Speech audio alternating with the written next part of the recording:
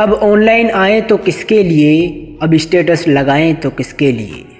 कि अब ऑनलाइन आए तो किसके लिए? अब स्टेटस लगाएँ तो किसके लिए? जिसके लिए हम ऑनलाइन आते हैं, वो तो किसी और के साथ बिज़ी हो जाते हैं।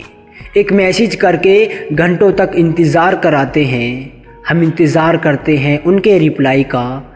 फिर अचानक से मैसेज आता है उनके गुड नाइट का।